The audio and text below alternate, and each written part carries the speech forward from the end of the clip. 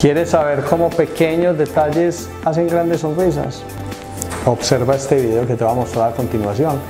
Es un caso de un microdiseño de sonrisa en una paciente que tenía eh, una sonrisa muy bonita, pero que le faltaba algo para ser perfecta. Entonces, con pequeñas cosas pudimos lograr. Este caso de esta paciente es una paciente que tiene eh, las dos encías de un lado mucho más arriba que las dos encías del otro lado. Entonces, el primer paso en esta paciente fue hacer un recorte de encías para poder nivelar toda la parte de las encías y así lograr un diseño de sonrisa a partir de las encías, empezando desde ahí.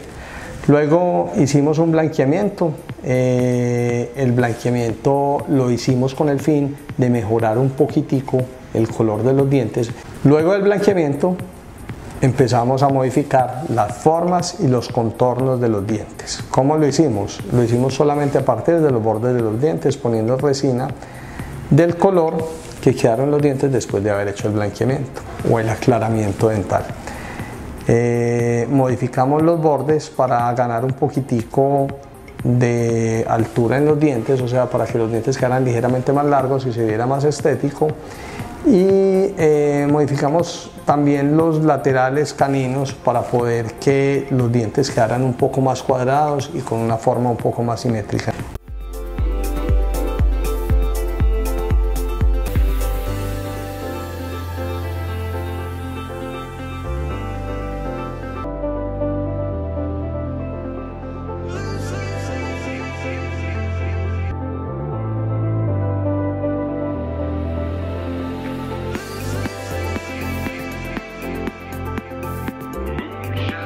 Si quieres conocer un poco más acerca de estos tratamientos de microdiseño de sonrisa, escríbenos, podemos analizar tu caso. Muchas veces pequeños cambios hacen grandes sonrisas.